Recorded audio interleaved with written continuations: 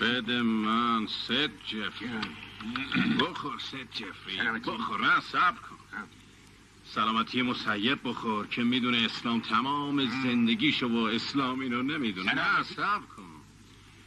سلامتی مسیب بخور که می‌دونه هر کسی عوض میشه و اسلام هنوز نمی‌دونه. نه سب کن. به کوفتمون سلامتی مسیب بخور که می‌دونه صفا حالا دیگه عوض شده بود. یه پا صفاست و اسلام هنوز نمی‌دونه. نمی‌دونه به نه، سلامتی. کن. سلامتی مسیب بخور که می‌دونه صفا مرده و خاطرخواه اسلامی. کشت مردشه یعنی هلاکشه. اسلام هنوز گریه نکن به سلامتی. نه سب کن بی معرفت ما هم میگم به سلامتی من بخور. تو چرا می‌خوری؟ چی کار کنم وقتی اسلام است من سگی کم که به سلامتیم گیلاس بالا راست میگه اینو راست میگه. بخور به سلامتی اسلام که تمام دنیا دوستش دارن. مسیب واسش میمیره و صفا کشته و مردش.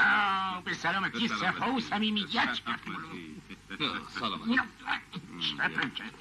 چپم کرد. قدیر بهم گفته از اون طرف واسش قاچاق بیارم. دختره رو گرو نگر داشته. گفته وقتی جنسا دستش برسه دختره رو خلاص می‌کنه. ده دوازده تا به پات خونش داره. همشون هم بالای سنگین وزن هستن. ما تا حالا با دوازده تا سنگین وزن طرف شدی نه نشدیم. نه. خب میگم چطور بریم؟ امتحان کنیم. ضرر نداره. ها ضرر رو از هر جا بگیریم. منفعته. پس بزن بریم. بریم. رفتیم جفری وایس ببینم کاپتا کجا میری وایس نجو اینو بی دسته کوفته برنجی شبم یاد داره شام میایم خونه ها خدا کوفته برنجی